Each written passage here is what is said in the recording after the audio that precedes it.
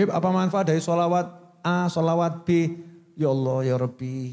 Saya tuh masih bingung sama orang yang nanya apa manfaat sholawat ini, apa manfaat sholawat ini, apa manfaat sholawat ini. Apakah setelah sabda Nabi SAW, siapa bersolawat kepada satu kali, Allah bersolawat kepadanya sepuluh kali, kurang cukup.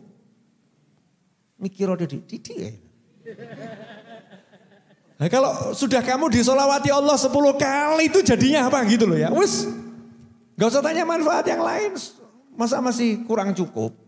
Allah mbak bilang aku bersolawat kepada orang yang bersolawat kepadamu sekali. Aku bersolawat kepadanya sepuluh kali. Spol loh ya. Pol. Pol cuman ya gak paham-paham kita ini. Kita, kita. Oke.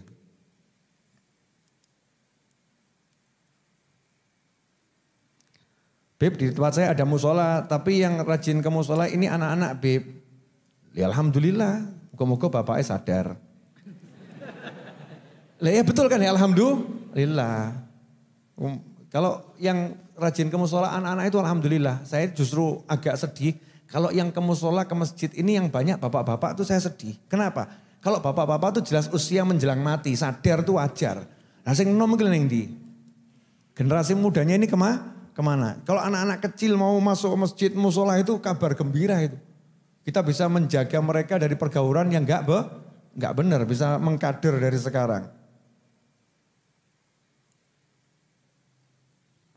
Nah ini, ini pertanyaan bagus tapi hati-hati.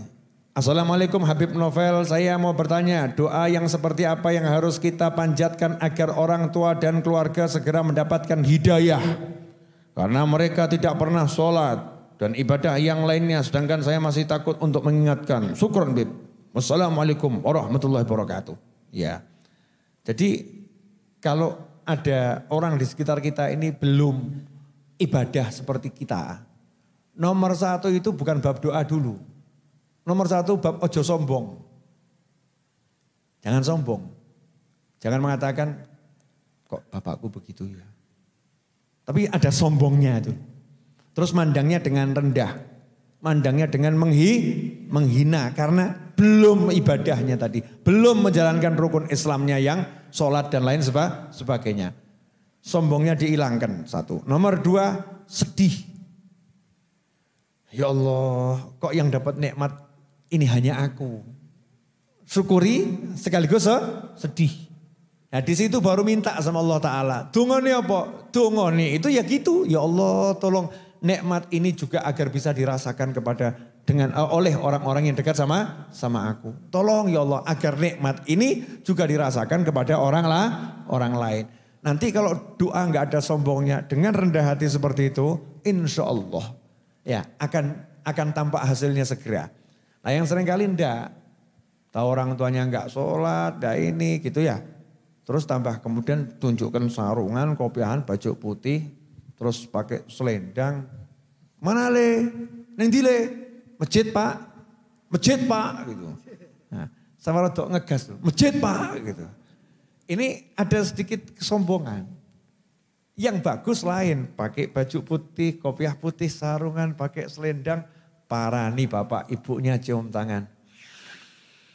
Pak, Bu, pamit tidak masjid rien pun je selamat mugi-mugi kula Masya Allah itu bapak ibunya mak jelas ya anakku ya anakku gak tau negur aku gak tau ngopo-ngopo jaluk dungo aku sing gak sholat di jaluk itu Masya Allah itu nanti otomatis berubah dengan sen sendirinya. Jadi sering kali ya kesombongan kita itu yang membuat doa-doa kita jadi uh, apa namanya tidak begitu cepat tampak hasilnya.